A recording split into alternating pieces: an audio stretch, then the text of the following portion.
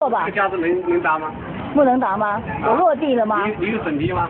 需要审批吗？那可以啊要审批啊。可以啊，你告诉我需要怎么样审批？你告诉我，这是我们家围墙上搭的我没有落地，到你们的可以啊，给这个围墙是你的？吗？是你家的吗？这不是我家吗？啊，围墙是你家吗？？这不是我你你把？你把产权证拿去。你有什么权利呢？啊，你把产权证拿去。你有产权证吗？啊，是我们家一百年前的房子，你你你拿产权证去了吗？你有吗？你去告我啊！你去告我啊！让我拿产权证啊！你去告我，这房子是你的，你没有产权证，怎么说的是你的呢？产权证你有吗？啊？你有吗？呃没有。你有吗？你去告，你是执法人员，你知道国家公务员，你要告我，你举证，你哪出的产权都是你共产党的，对吧？讲道理耶，你有产权证，你有没有？我有没有产权证不要紧，你法院告啊，拿证据啊，你拿法院告我啊，哎，我我我今天不会讲。对不对？你不跟我讲，两年前到里头找我们家不是也执法在录像啊？啊，没有错啊，一视同仁啊，对不对？我在我们家做花台的话，需要产权证吗？转身向你后面占用工地的让种也是种花的啊，有没有产权证啊？对不对？对不对？中国共产党才九十岁，对不对？我们家房子一百多年，这房子需要产权证吗？我一个，一个有客。对不对？要讲道理啊，中国那些人权的社会啊，对不对？你让我收可以啊，一视同仁啊，这么大的阵容就对付我们一家，对不对？不就是想共享再共我们家产嘛，对吧？是不是？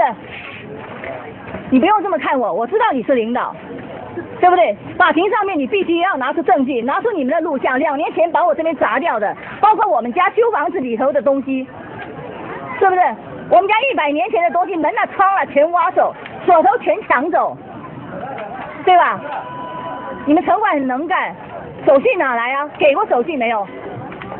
现在再来，我送的花台行啊，你们再来执法呀、我这花台没有错啊，我是犯犯犯法了吗？需要什么手续？你告诉我。我这花台我落地了吗？占用国家的土地了吗？对吧？好了，少说几句了。不是少说几句的问题，要讲道理。中国是个人权社会，对吧？老百姓的财产都不能保护的话，都没有的话，那还体现什么人权呢、是不是？不就是这些水嘛，对吧？你们山有楼上，你那古玩玉管委会，你可以在脑袋上加木头房子做房家庭旅社，我们老百姓自己做个花台就犯法了，要这样的阵容来吗？需要这样的阵容来治理吗？古玩玉的脏乱差就是因为我的这个是阵容吗？就是因为我的花台错了吗？看看我这些花台，让所有的游客看看，对吧？我的花台犯法了吗？我落地了吗？你们城乡法里头可以到我们家去砸花园，说根据城乡法，我现在这里我落地了吗？你说我落地了吗？根据城乡法，我违反哪一条城哪哪一条呢？对吧？我违反了哪一条？对不对？你们都有录像，你们到法庭上把零九年的录像也拿出来，我收，我可以收，一视同仁。我让一城管对小摊小贩治理不了，对居民百姓就这样子治理，我可以拿掉。没错啊，你们有拿录像，法院会调取的，是不是？两年了，不是现在，到严重侵权了，这中国人权在哪里？是不是？东西要归还。零九年抢走我们家多少东西？要不要归还？我们家老宅里头的门啊、锁了、串了、花了、花窗、花门了，全部都搬走，是不是？还给动用的武警这么大的阵容，几部车，多少人头，算一算，对不对？中国的人权在哪里？老百姓的财产谁来保护？啊？四部车子，公安的、判城管的，对吧？